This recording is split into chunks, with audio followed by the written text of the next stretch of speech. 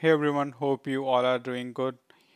So in this session, we are going to talk about the Turbo Extract Data Raptor. Uh, if you haven't seen the video like what is the Data Raptor and introduction of the Omni Studio, please check out the description. Uh, there is a link for those. Okay, let's come back to the uh, Turbo Extract Data Raptors. So how you can get there, go to the, your Omni Studio app uh, by this hamburger icon. Once you are the Omni Studio app, select the Data Raptor tabs from here.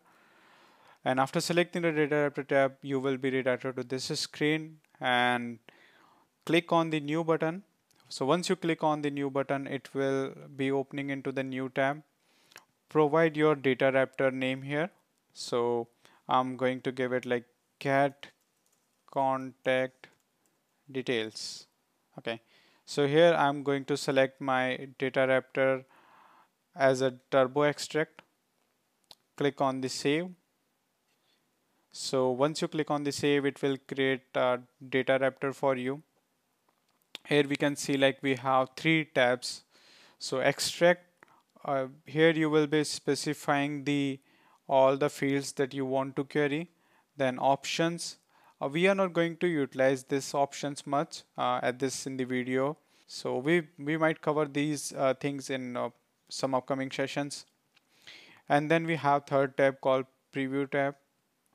So if once you are done with your like uh, queries or all the setup of the data raptor you can go here and you can click on execute button and then you can see the response. Uh, of your data raptor or query. In this section uh, right here, you can see this is input parameter, which means uh, if you want to test out your data raptor, you can provide your parameters here and then you can pass different different parameter to test uh, test out your data raptor. So let's go back and select the object here. So first thing that you are going to sell you are going to select here is your object. So here I'm going to select the contact object. In the uh, extract output path, you are going to provide the JSON node. So here I'm providing the JSON node name as the contacts. And in the filter section, you will be providing the variables for the filter. Here I'm going to select the ID. And then I would say ID were not equals to null. So basically on the first demo, I'm picking up all the contacts from the system. So here I am saying that fetch out all the contacts where id is not equals to null. So we'll talk about these things um, on later videos, but uh, these are provided by the Vlocity or Omni Studio. There are predefined variables for it, like even though there are variables for the like user ID, uh, today's date and tomorrow's date. So uh, for for this demo, we are going to utilize the Vlocity uh, dot null, and then you can select the fields that you want to query from the contact object. So first name, I'm going to query the last name. So let's go back to the preview tab and click on execute. Okay, you can see the contacts node that we have created earlier and all the records are present here. And if you see in the debug log, you can see the what query it created in the behind the scene. So you can see that uh, we have ID, first name, last name, and then uh, the filter that we have provided ID not equals to null. And by default, Vlocity adds the limit of 50,000 here. So if we have more than 50,000 of data, then uh, it it won't be coming through this uh, data raptor. And if I go back and if I want to apply more filters here you can apply like and and or here. So if I want to apply for like let's say uh, where account ID also not equals to null right? And if I go back and if I hit the preview tab or execute button again. So you can see the here we have the query id not equals to null and account id not equals to null as well. So let's go back and let's see more options here. We have the or operators. Uh, we can also apply the limits. So in the limit what we are saying is like let's bring only five records. And if I go back and click the preview button you can see that our limit has been applied and we can see we only have the five records coming here. And then we have offsets as well and then we also have order by so let's utilize the order by here what I'm saying is order by last name and which is descending. Let's go and preview it. So right now we can see this uh, it's not in an ordered sequence. So once I do this you can see uh, it is ordered by the last name and which is in the descending order and the same thing we can see in the OR query as well so we have covered order by limit and then we ha also have the offset. Uh, I can provide the offset like I, I, the record should start from the 2. So if I if I uh, fire this and you can see the limit has been applied but now the data table is picking a record from the index 2 rather than from the like beginning. So you can you you have seen that uh, we can do a single object query here. We cannot do child records but yes if you want to bring some fields from the parent record that's doable. So if I go here and I say okay I want to bring some fields from the contact dot account. Okay so once I select this you can see this list also get reflected with the all the fields from the account. So here what I'm going to do is like I will bring the account name and this.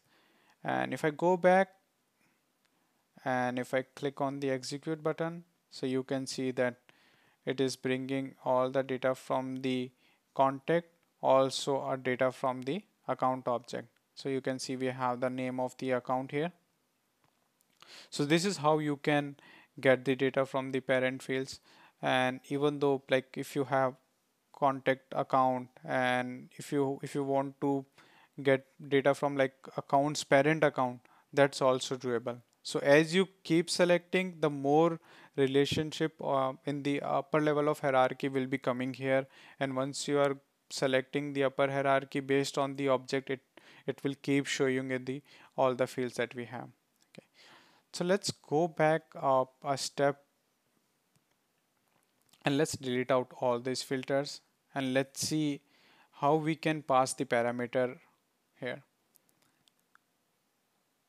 So I deleted all of them and now what I'm going to do is like I will filter out based on the ID okay?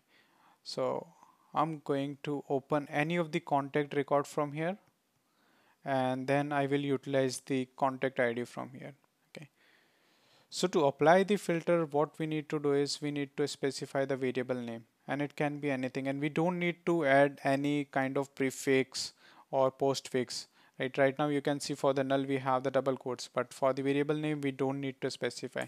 So I'm going to keep the variable name as a record ID which is rec ID and then in the preview tab if you hit this execute right you will see the error because you are not passing the any of the parameter here so I will click on edit as param I will add rec ID and then I'll go back to the contact record I will copy my record ID from here and I'll hit the execute button.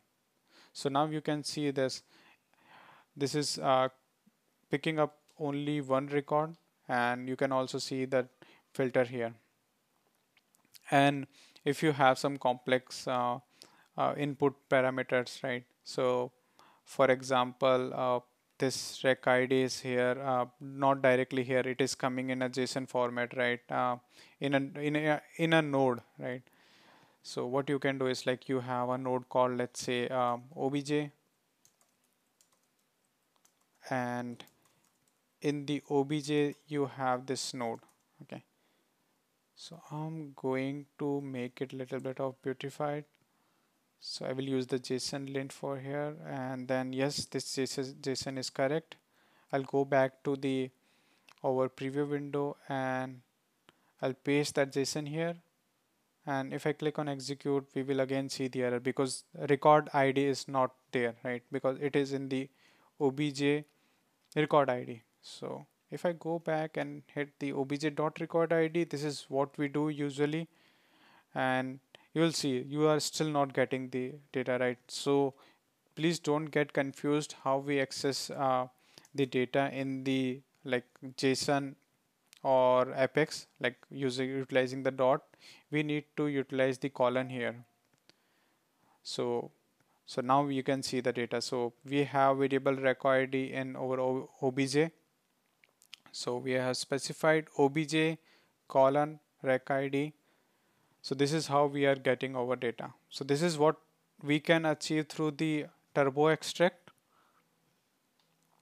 Great. I hope you have learned a lot from this. Um, we will cover extract data raptor in the our next session. Thank you so much. Have a good day. Bye bye